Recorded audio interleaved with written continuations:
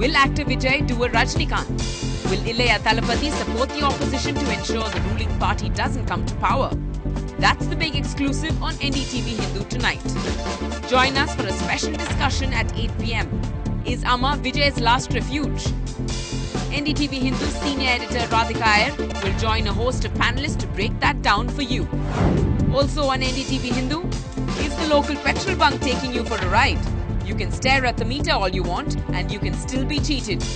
With the petrol prices hitting another high, NDTV Hindu lets you witness this gross deception. And at 9:30 p.m., what impact does the WikiLeaks expose have on diplomats? On We Connect tonight, the British Deputy High Commissioner Mike Nithavrianakis speaks exclusively to Jennifer Arul.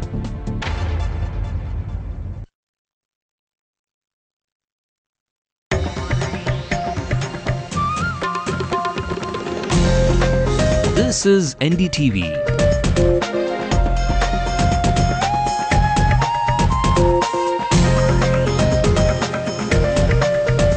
And you're watching NDTV Hindu.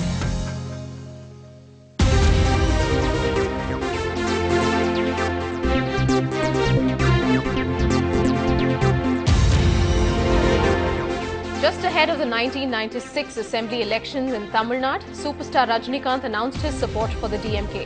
He just did not want the AIADMK to come to power. His fans followed his advi- advice and the DMK came to power with a thumping majority. In 2010, it seems that arguably the biggest star after Rajni and Kamal in Tamil Nadu, actor Vijay, wants to do just what Rajni did to announce support for a Dravidian party with the hope that the other does not return to power. Rajani supported the DMK and it seems that Vijay is all set to support the AIADMK. Why, when and what does that mean? We discuss that in detail. If and when that happens, it could change the dynamics of the political scenario here in Tamil Nadu. Reacting to that, Badr Saeed of the AIADMK and Khushbu of the DMK. And on our panel tonight, Mr. Krishnanand, political commentator, and Bama Devi, senior journalist who's covered Tamil cinema for over a decade. Let's get started with the headlines. Actor Vijay's father hints at Vijay announcing support for the AIADMK. Speaks exclusively to NDTV Hindu. Vijay want to do something to the Tamil society. With Vijay moving closer to Jayalalitha, the DMK puts up a brave face. DMK star power says Vijay cannot get the votes. DMK patriot M. Karunanidhi slams media reports that he took money from Dayanidhi Maran to make him a minister. Filling a tank full of petrol, beware. With already roof-high prices of petrol, you may be even paying more than what you buy.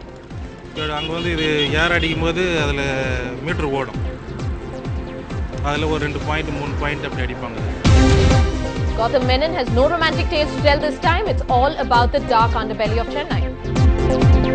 I want to make something hard and dark. So that's what this film is all about. There is no music, there's no background score in the film.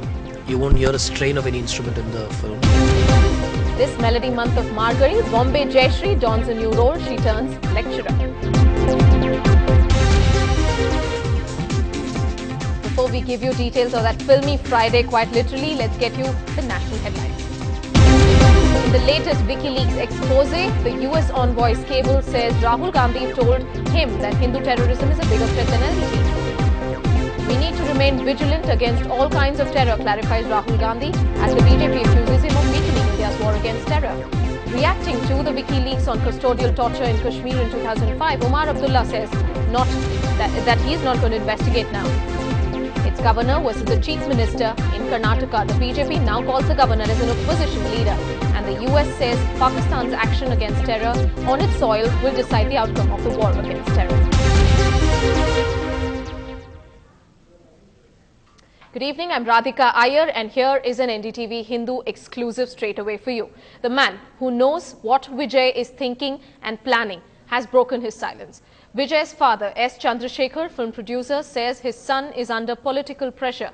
He has hinted that they met Jayalalitha recently, just this month, to discuss the political scenario. P. Mohammed has this exclusive interview. இவங்களை போய் பார்த்தது வந்து இப்போ ராகுல் காந்தியை போய் நாங்கள் பார்த்தோம் ஒரு தேசிய கட்சியுடைய செயலாளர் ஒரு சந்தர்ப்பம் கிடைச்சது எங்களுக்கு அப்படி தான் போய் பார்த்தோம் அதே போல் இப்படி ஒரு சந்தர்ப்பம் கிடைச்சது எங்களை சந்திக்கக்கூடிய ஒரு வாய்ப்பு கிடைச்சது அந்த சந்திப்பு அது ஒரு ஒரு நல்ல சந்திப்பு அது அந்த மலர்ந்த முகத்தோடு அவங்கள எங்களை வந்து என்னை வந்து வரவேற்று அவ்வளவு நேரம் எங்கிட்ட வந்து நாட்டுடைய நிலைமைகளையும் அரசியல் நிலவரங்களை பற்றி பேசுனது வந்து ஒரு நல்ல விஷயம் Our senior correspondent Peer Mohammed, who got that interview, put what his statement mean in perspective. He also got the DMK and particularly the star power of the DMK to react to that. Let's see. This meeting is the latest indication of how politics and the entertainment industry need each other. Actor Vijay's father, S.A. Chandrasekhar, exchanged greetings with Jayalalitha. It comes amid reports that the domination of Kollywood by people close to the DMK party had pushed Vijay off the screens.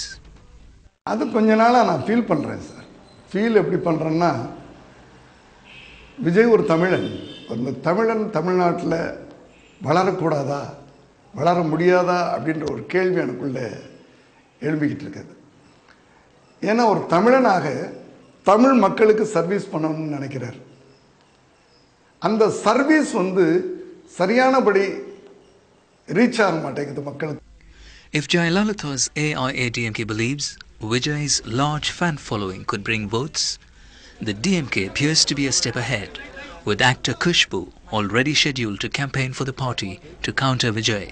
If uh, my opposition party thinks that uh, because of Vijay they are going to get extra votes uh, into their party, uh, all I can say that uh, it's a wrong calculation. Rajnikant's open support for the DMK TMC alliance in 1996 worked wonders. Vijay is probably attempting to do that for the AIADMK in 2011. In Chennai with Peer Mohammed, Jay Santosh for NDTV Hindu. So why and when will this move be taken by Vijay? It seems that this is a very, very calculated, not just political move, but also a move to bring his career back in shape. In fact, in May, Vijay faced a threat of ban on his films by the owners of theatres all over the state. The theatre owners wanted him to pay back for the losses they made because his films didn't do well. Vijay has had not one, not two, but a full five flops. Here's a brief report card on Vijay's recent films.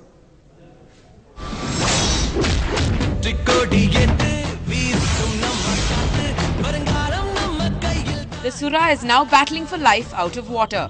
Actor Vijay, who imagined that his 50th film would put him on a higher pedestal, had ironically posed a threat of ban on all his future films if he didn't pay up theatre owners at least 35% of the minimum guarantee amount in May. In Sura's case, theatre owners paid to the tune of 50 lakh rupees before the release of the movie after all the hype around it. The Ilaya Talapati, as Vijay is fondly known, has had five flops in a row.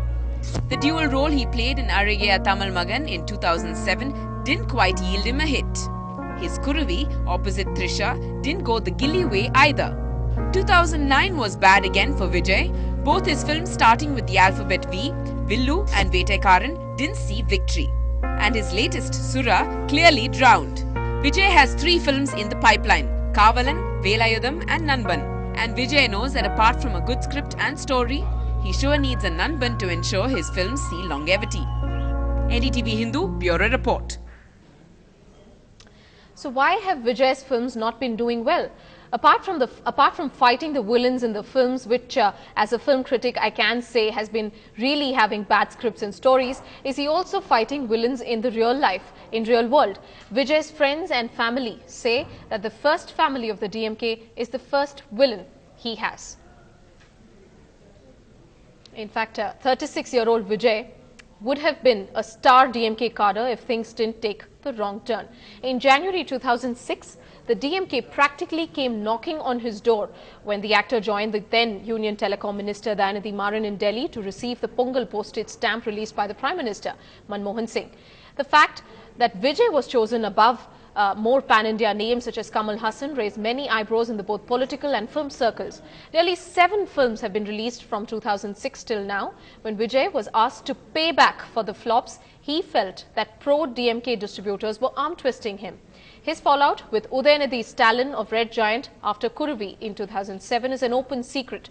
Vijay sympathizers allege that since then, Sun Pictures and Red Giant Productions have been using their clout to ensure that his films don't run longer than a month. And that is Vijay's allegation. Udayanidhi Stalin of Red Giant Movies now holds the rights to uh, Vijay's uh, earlier film Kuruvi and after which was the fallout and the actor feels threatened. AIADMK it seems in his last is his last sucker and will Vijay throw his weight behind the AIADMK with a hope that Jayalalitha will bail him out. Is this move not just a political one but also to ensure that his film career is back in track considering Kavalan uh, is waiting to be released but uh, Vijay of course uh, will have his win-win if of course he backs the AIADMK but what does that mean for the state politics? We discuss that in detail with our panel. We'll be back in a short.